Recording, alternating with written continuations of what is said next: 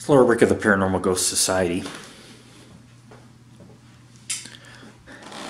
And I'm giving you a tour of a very haunted office. This used to be a historical home. It's been transformed into an office. And the company had just moved in, and there's been some activity. I know because I was busy doing some assembly work of some desk and furniture and moving things around. And I heard a girl screaming from the basement. And you can see straight down into the basement.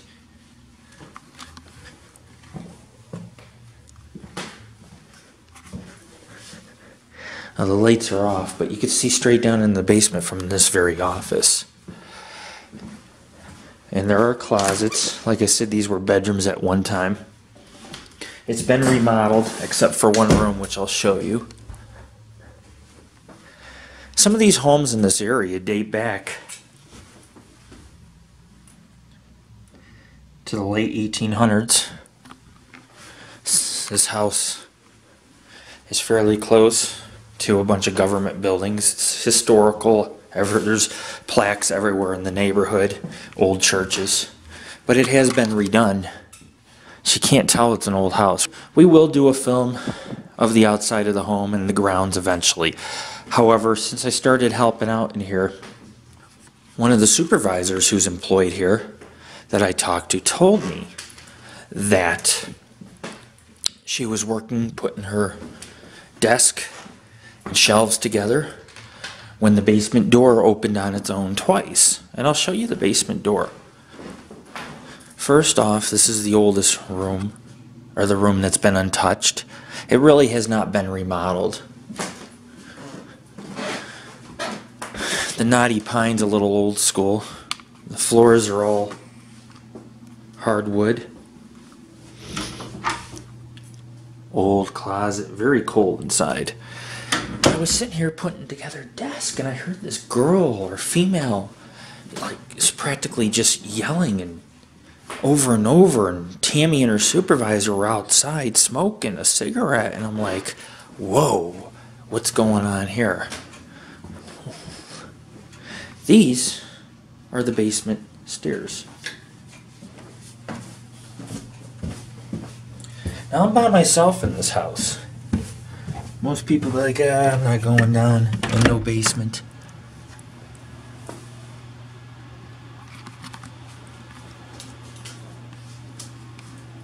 But you can see, this is what the basement looks like. Just a bunch of filing cabinets.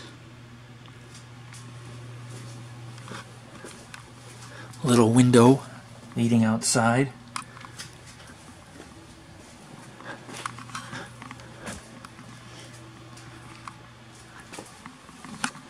little window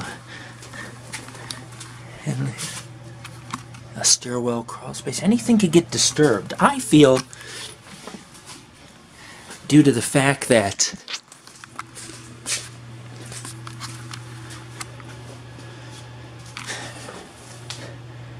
there's been some moving of furniture. It's probably caused a little bit of a ruckus if this house was haunted. Sometimes you get entities, and what they do is the entities will hide, for example, in a closet under the stairs, or it's kind of like a dormant hibernation period.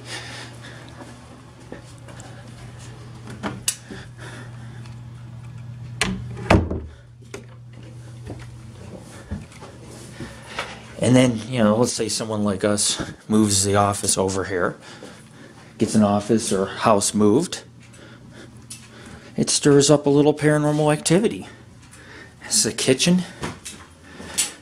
Grounds are well landscaped. Like I said, this is a historical home turned into an office. And I'll show you what I mean by historic, or what I mean by historic area. This house, well, it's no longer a home, but this, I don't want to film out the windows and look like a peeping Tom and wait for people to walk past.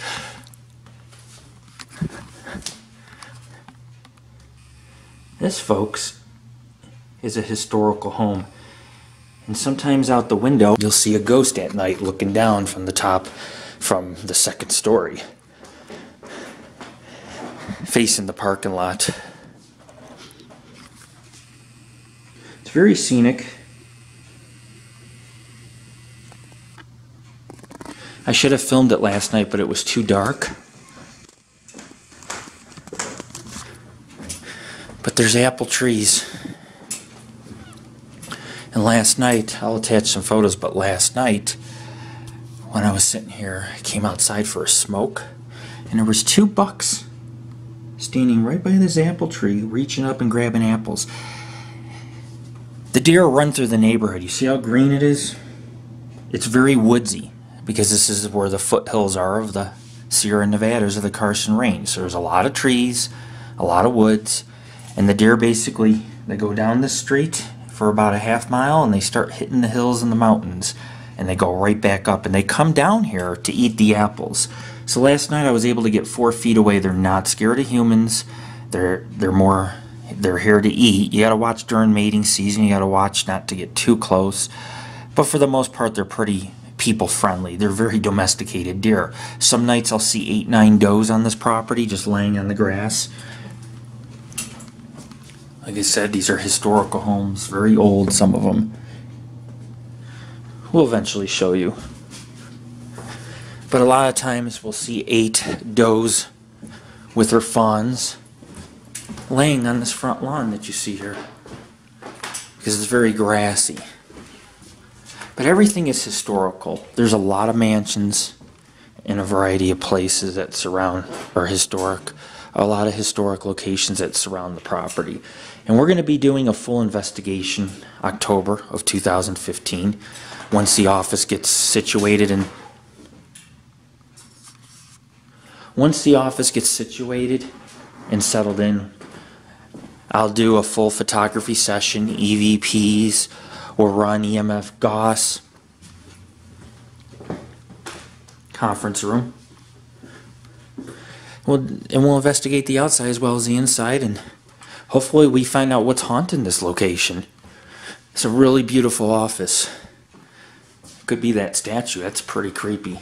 That was left behind by an employee. It looks more like a voodoo or some witchcraft type of doll, you know, poke pins in it. Lord Rick, Lord Rick, I'm going to get you. But all joking aside, I do believe that this house is haunted. Not even to put it mildly. The fact of is I heard it for myself. And then hearing reports about this door being closed and opening on its own just makes you wonder. Just second guess everything and kind of say maybe, you know, maybe consider the fact that something is haunting this historic structure within these walls. And if you look, you have this, like I said, this is a room that really hasn't been uh, altered too much. A bunch of little cupboards like these. A lot of people say that this room freaks them out. I don't know why. I come in here, I'm just like, it's just a room with wood floors and walls. It's no different than any of the other rooms. The other rooms may have been more modernized, but they are still technically a part of the house. This is just a taste of things to come. We're going to work with this location more in depth, find out why it's haunted, do a little research on the home. What haunts it, if it's haunted, if it's residual energy. Very wholesome neighborhood, brick homes, mansions, all on the in the foothills of the Sierra Nevadas and Carson Range. A lot of deer, black bear, mountain lion, they all come down. They wander these neighborhoods.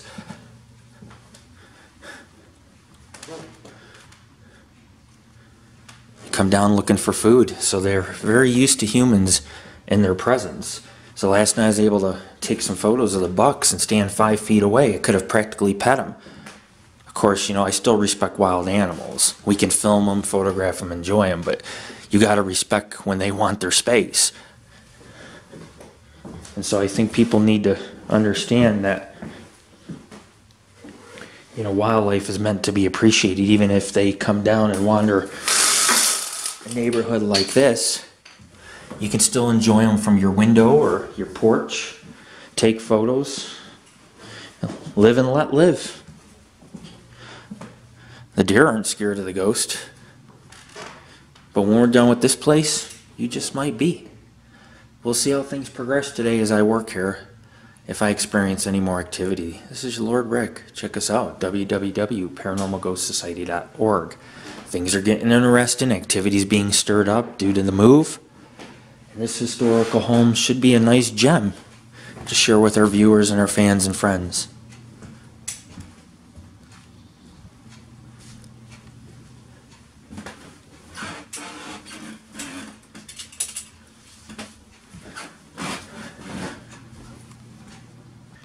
Look at a 27 inch monitor.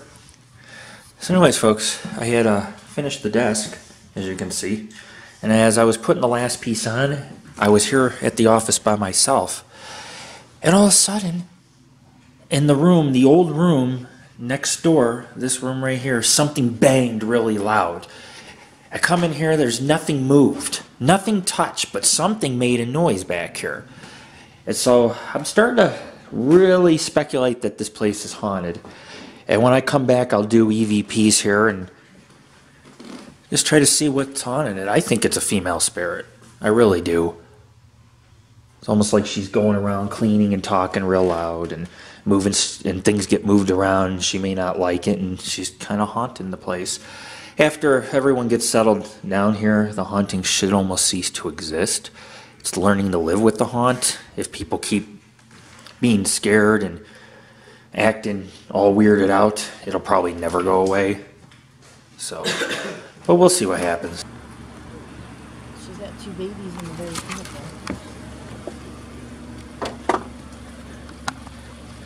Oh, look at the babies.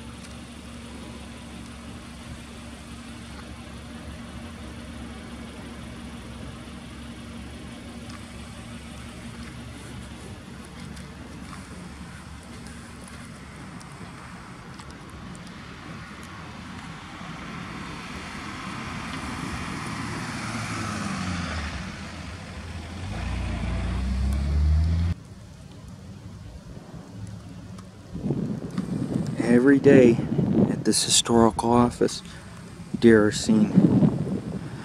The other night it was bucks, but it was too dark out, and today is a doe with her fawns.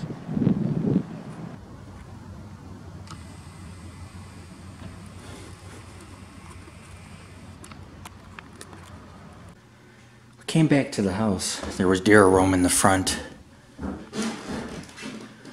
There's always deer here. They're very attracted to the place. But on my way out last time I was here, I heard some noises, and all of a sudden, what is that noise? And then all of a sudden, I leave the room, and one of the closet doors opens on its own. It's just constant activity here.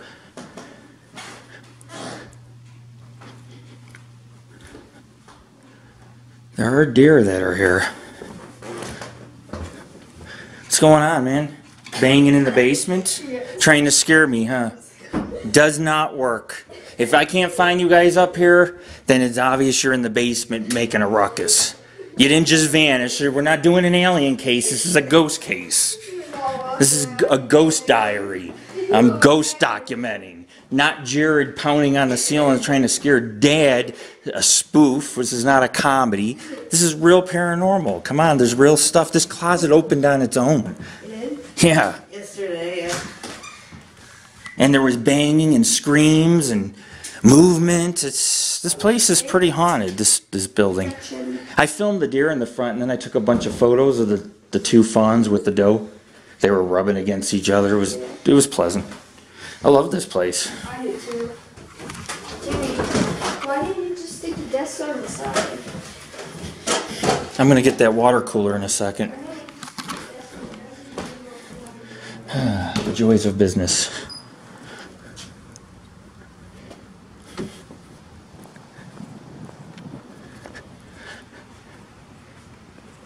When there's no deer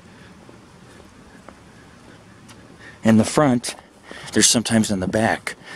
This is a very woodsy area. It's historic, and you have the benefit of the Sierra Nevada mountains straight up that hill.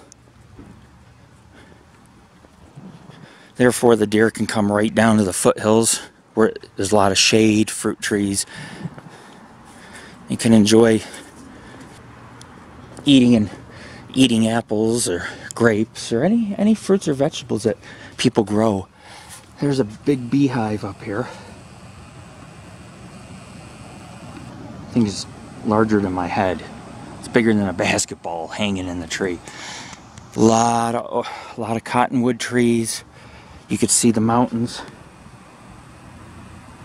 which the deer come right down off of from the national forest into the foothills, and they're very people friendly. Bucks, does, fawns. That's the apple tree, and they just love those apples.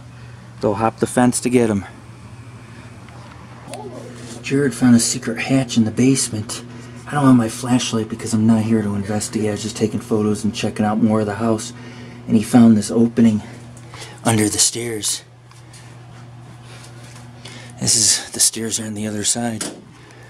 That's just showing you there are some little secrets hidden in the historical neighborhood. A lot of houses have secret passages and crawl spaces. Places where you can hide under the stairs, including all the spooks. Pretty spooky stuff. changes the contract, and Ashley's not gonna change your contract. Ashley will make you go to work. You're not a hard in Texas, she'll make you go to reach them oh, instead. Baby one over there.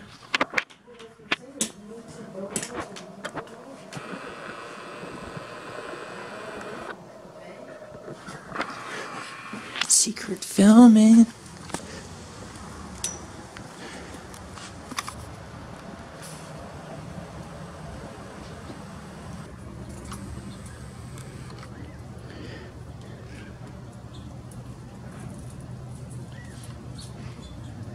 Look at them looking. They're like humans.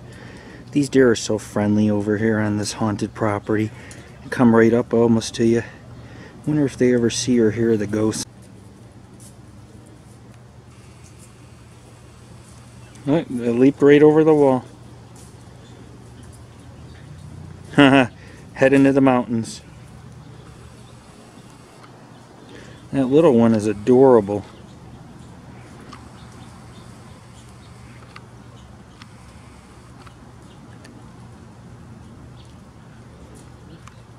Like they don't even care. Like human, I don't care.